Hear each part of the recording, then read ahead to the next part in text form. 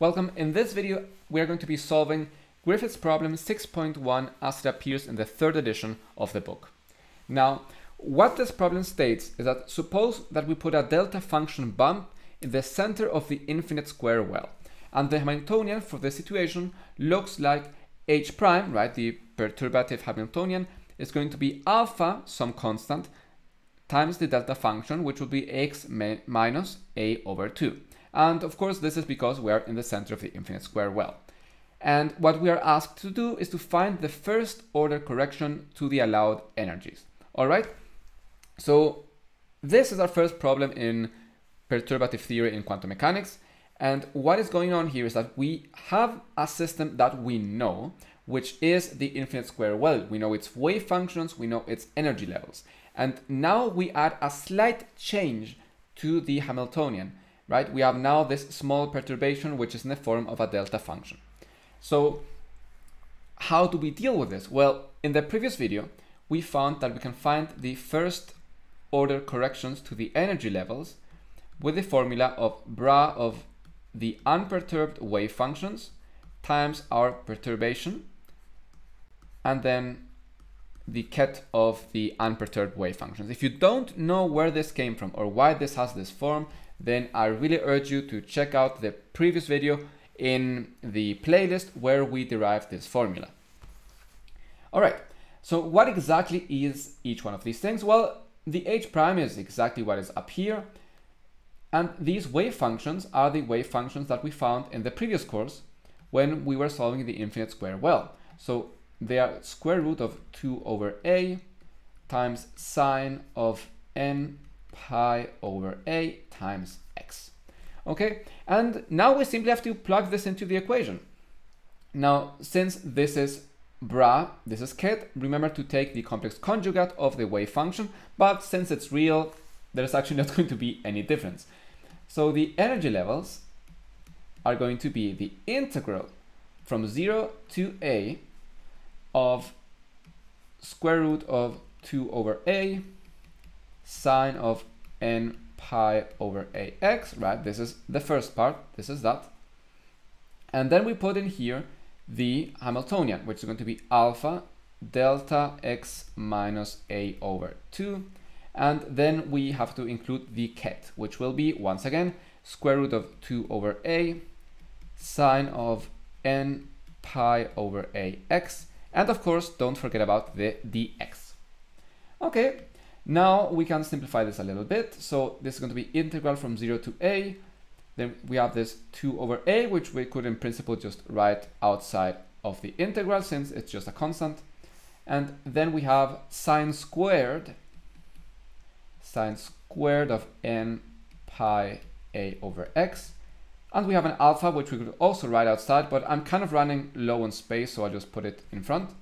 And this is delta x minus a over 2 dx.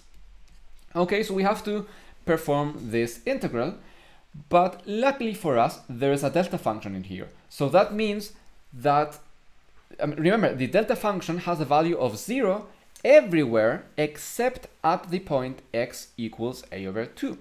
Which means that since the integral sums the value uh, right, of, of, the function over all of its uh, of the area of interest, which is in this case from 0 to a, the only place where it's going to be non-zero is going to be at a over 2. So this integral is simply going to be 2 alpha over a, the constant that we're in front, times sine squared of n pi over a, and x will be at a over 2, so times a over 2. And well, the a's will simply cancel each other out. And now what do we have here? Let me maybe copy this and bring it to the next slide so I can explain it a bit further. Now this is the first order correction to the energy levels. Okay, so what exactly happens here? Now we have sine of, maybe let's get rid of the a's, sine of n pi over 2. So this result will depend on the value of n. So let's see what happens if we have even or odd values of n. So let's begin with n odd because, well, 1, one comes before 2, so I don't know. Uh, n odd. So for example, when it is equal to 1.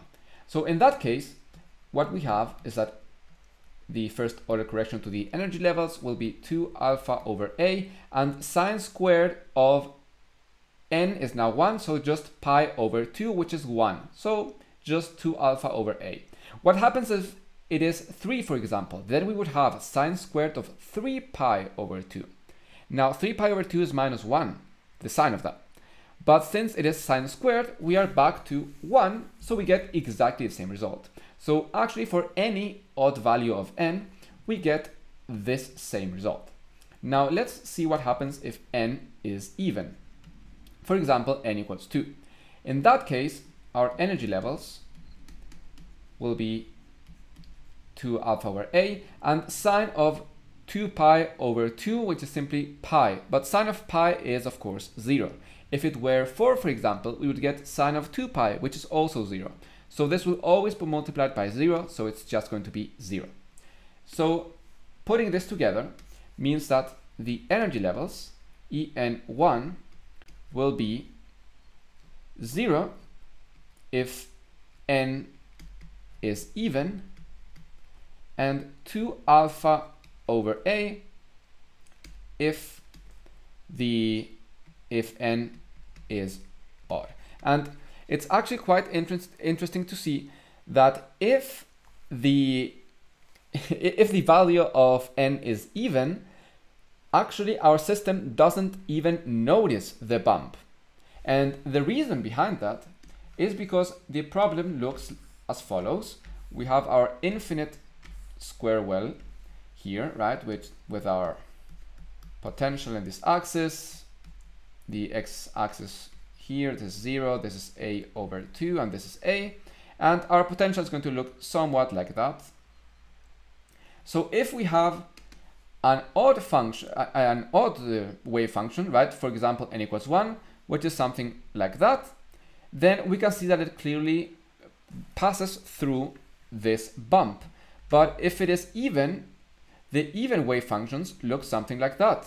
And exactly at the point where this perturbation is, our wave function is zero anyways, so it doesn't notice it, which is quite interesting.